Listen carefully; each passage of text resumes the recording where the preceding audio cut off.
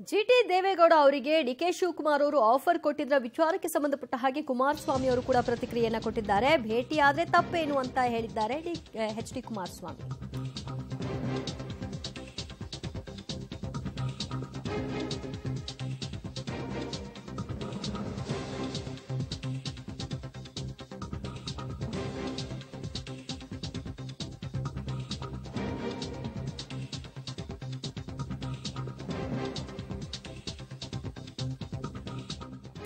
GT Devegowda ಅವರಿಗೆ D K Shivakumar ಅವರ offer ಸಂಬಂಧಿತವಾಗಿ Kumaraswamy ಅವರು ರಿಯಾಕ್ಟ್ ಮಾಡಿದ್ದಾರೆ. ಭೇಟಿ ಆದ್ರೆ ತಪ್ಪೇನು ಅಂತ ಕೇಳಿದ್ದಾರೆ.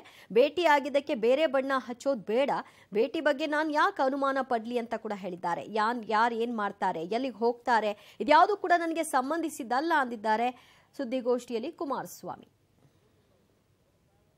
ಈಗ ಭೇಟಿ ಮಾಡೋದು, ಅದಕ್ಕೆ ಬೇರೆ ಥರ ಬಣ್ಣ ಕಟ್ಟಬೇಕು?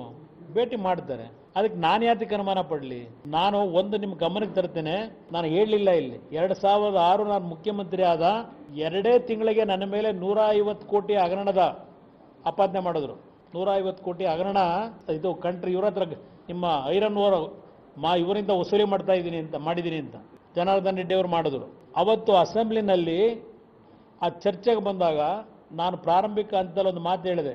ಆ ಮುಖ್ಯಮಂತ್ರಿ ಸ್ಥಾನದಿಂದ ನಿಂತು.